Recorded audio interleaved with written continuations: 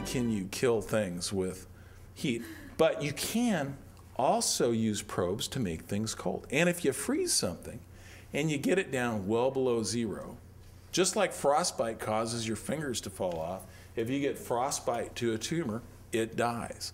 And we do this through something called a cryoprobe.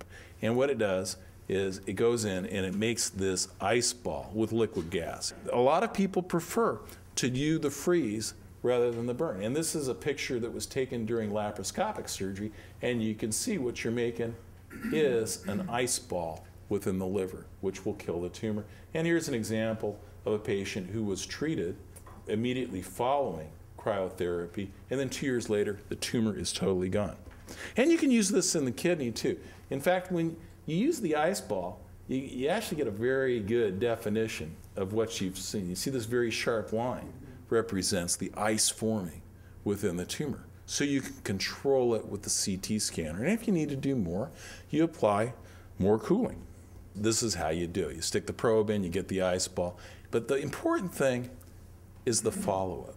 And it does turn out that these techniques are effective, and in many cases, just as effective as the analogous surgical technique.